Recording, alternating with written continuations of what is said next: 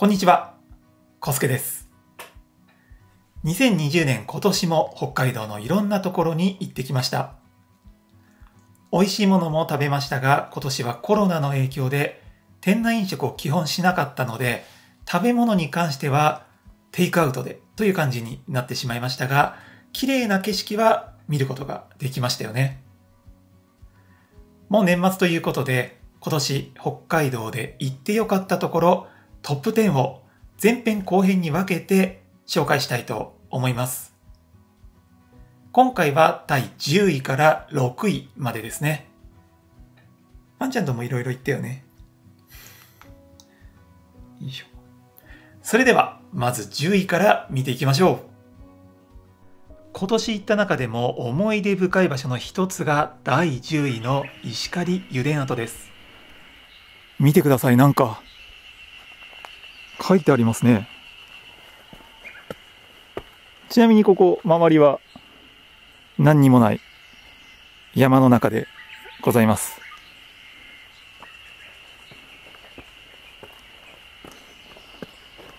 ここに石狩油田八の沢工業所跡ここがそうなのかな？あここ現在地なんですが小学校もあったみたい。だから多分油田で働いてる人たちの家族が通う小学校があったんでしょうね。あこの石碑みたいのは小学校の跡なんだ。もう建物はないけどここに小学校があったんですね。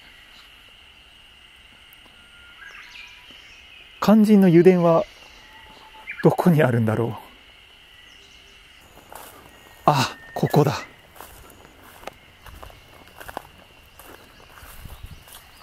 夏季厳禁と書いてあるのがわかると思います。ほら。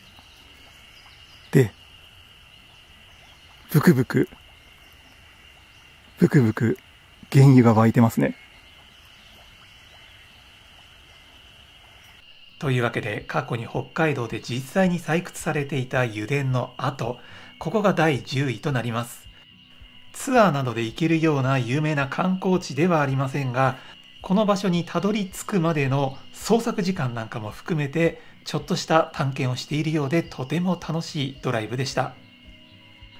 実際にこんな油田を目の前で見ることができる場所もそうそう多くはないですからね。それでは続いて第9位となります。第9位なんですが北海道の苫前町にある三毛別ヒグマ事件復元地でございます。大正4年12月9日冬ですね。冬眠できなかったヒグマが空腹から凶暴になって10人の婦女子を殺傷した事件。日本で一番大きな熊の事件と被害者の多い事件となっています。しかも熊が2.7メートル体重340キロですから2.7メートルって一般的な家の天井が2.3とか、まあ、2.5あるかどうかぐらいだと思うので天井の高さよりも高い熊ということになります。かなり大きいですよね。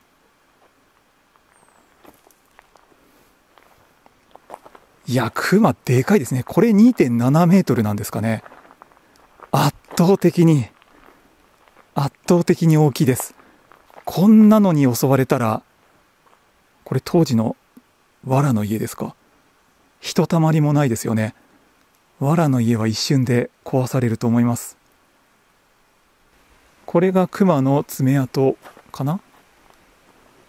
この木に熊の爪痕があるみたいなんですがこれだきっと。これじゃないですかね。ガッと。わすごい。ほら木がえぐれてますよ。もう100年以上前だと思いますがまだあと残ってるんですね。恐ろしいな。というわけでこのヒグマ事件の復元地ここがとても印象に残ってますね。この場所もかなり山の中にあるので一人で行くと今にもクマが出てくるんじゃないかと思ってしまうような場所で復元地なんですがとてもハラハラしながら見学することとなりました。それでは続いて第8位です。第8位は妻と一緒に車中泊で行った根室でございます。根室はすごくいいところでしたね。野サップ岬からの景色はもちろん綺麗なんですが食べ物も美味しかったです。うわー美味しそうだね。うん。タレついてタレ結構こってりした感じだね、いただきます。はい。うん。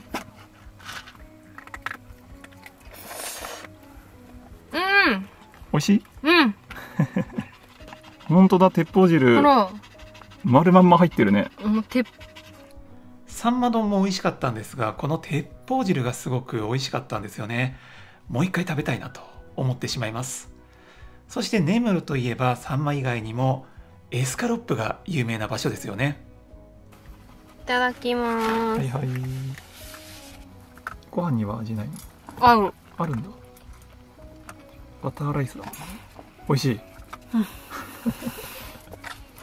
ご飯好きな人にはめっちゃいい。本当？うんうん。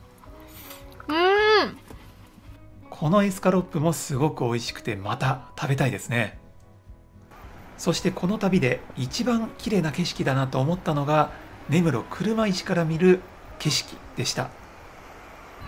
この車石周辺は車石だけじゃなくて景色もすごく綺麗ですね。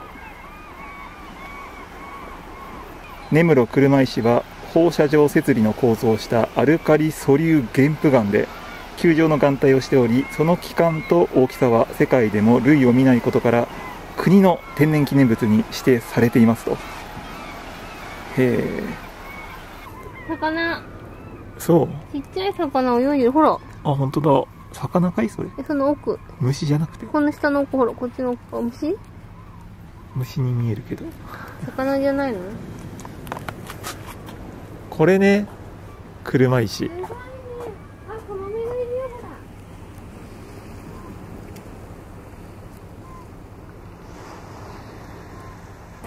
すごいね。なんでこんな岩できたんだろうね。すごいね。うん。不思議。なかなかこんな岩は普通に生活していて見ることはないですよね。これ車石を裏側から見てるところなんですが本当に変わった変わった形状をした岩ですよね。というわけで第8位は根室でした続いて第7位。第7位は先日行ったここ厚岸市浜中町周辺です。おおすごい。これは綺麗ですね。厚岸浜中町周辺はとにかく鹿が多かったんですよね。あちこちで鹿見かけました浜中町にあるすごく綺麗な涙岬というところも良かったですね。おおこれは気持ちがいいですね。この厚岸浜中周辺は岬とか展望台がたくさんあってドライブするのもすごく楽しいと思います。おおすごい。岸壁が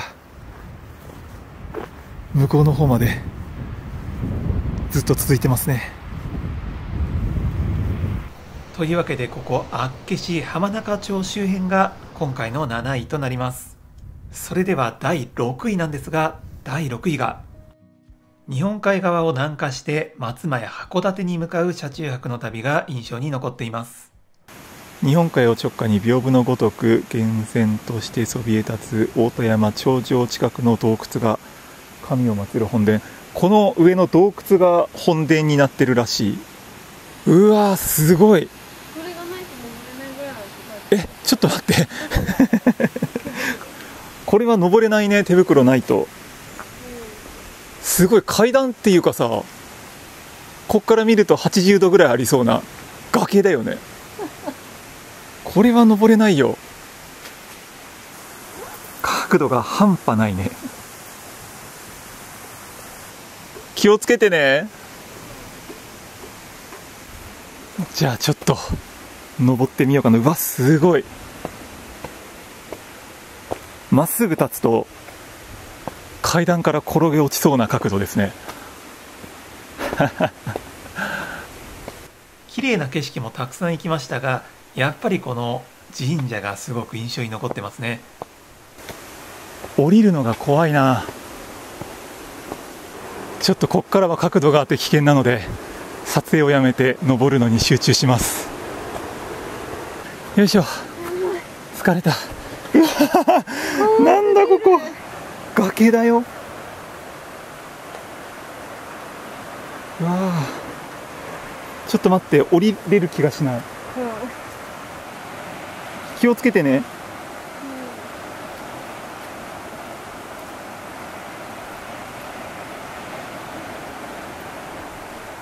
じゃあ僕も降りるのに集中するのに撮影は止めます。これは怖い。これ角度が本当45度以上あるのに加えて足が全部乗らないんですよね階段に。バランス崩したら普通に。死ぬと思います。怖い。北海道最南端の岬に到着いたしました。白神岬っていうのかな。ここ最北端とか最東端って結構人気あるんですが最南端は全然人気ないよね。ここに人がいるところをあまり見たことがない。景色も綺麗だったんですがやはり松前。函館方面は食事も美味しいですよね。うわこれは美味しそうだよ。これは確か上の国の道の駅で食べたヒラメの漬け丼だったと思います。これすごく美味しかったんですよね。そしてこのエビの入ったラーメンこれも美味しかったんですよね。いやーもう一回食べたいですね。すごい。本マグロ丼本マグロ丼とこれは岩のり丼、岩のり10だ松前の道の駅でいただいたご飯も美味しかったです。この函館方面は美味しいものだらけですね。他にも少し珍しい綺麗な景色を見たりあとは官軍上陸の地なんかにも行きました。函館戦争官軍上陸の地と書いてあります。結構函館より北側に官軍は上陸したんですね。ここから南下して江差に行くと旧幕府軍の海洋丸が展示されています。それよりもうちょっと北側のこの乙部町に新政府軍は上陸したということみたいですね。ちなみにこの時は2泊したんですが1泊は GoTo を使って函館の犬も泊まれるホテルに宿泊しました。もう1泊は車中泊ですね。この時はキッチンのついているホテルを借りてホテルの中で調理をしてご飯を食べました。これが美味しかったんですよね。函館の牛肉なんかをスーパーで買ってきてそれを食べたんですがとても美味しかったです。地ビールなども飲みつつちょっとした飲食店で食べるよりも豪華に安く美味しい食事をすることができました。こういう旅もいいですよね。そして翌日の朝食も部屋に朝一から海鮮丼を持ってきてもらうというプランにして部屋の中でご飯を食べたんですがこれも良かったですね。美味しかったです。というわけで今回は10位から6位までを見てみました。6位の日本海側の旅行に関しては食べ物も美味しかったですし景色もとても綺麗で楽しめましたね。次回は5位から1位までということになりますのでまた次回をお楽しみに。これからも北海道のことや車のこと北海道の美味しい食べ物や綺麗な景色なんかを動画にしていきますので楽しんでくれた方はチャンネル登録よろしくお願いします。